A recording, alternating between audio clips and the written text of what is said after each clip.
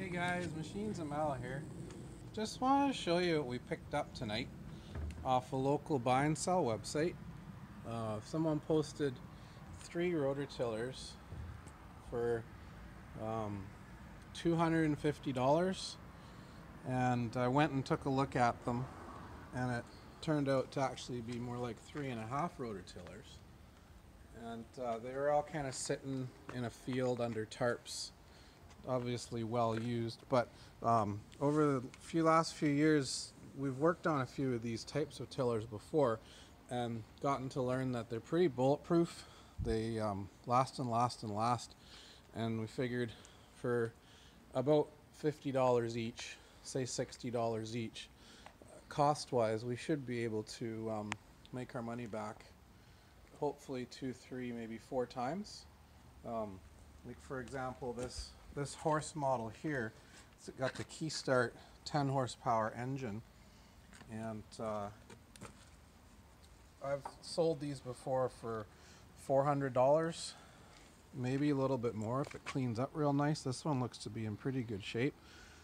Um, this one over here is an Ariens version of that rototiller. It looks to be a little bit newer. It's actually got a, a replacement engine. Someone's put a Powerfist 13 horsepower engine on it. So obviously the original engine blew up. Um, it looks like it's got key start, so it might be worth putting a, a battery onto this to make it start by itself. It would appeal to a lot more buyers. Um, the RT8020 model. Not sure what the 8020 stands for. Perhaps 20 inch or 20 horsepower or 80 centimeters. I don't know. We'll look that up. Um, then we've got this old Ariens Rocket 7, which is just basically the, the front half of a rototiller, the tractor half.